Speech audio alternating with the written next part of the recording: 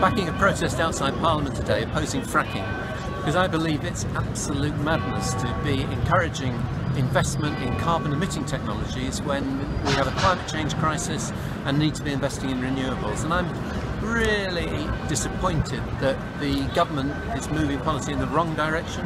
It's encouraging fracking. And lots of constituents have written to me recently opposing the way that fracking companies are trying to loosen the rules on earthquakes because they want to make it easier to frack. That's wrong, I'm opposing it.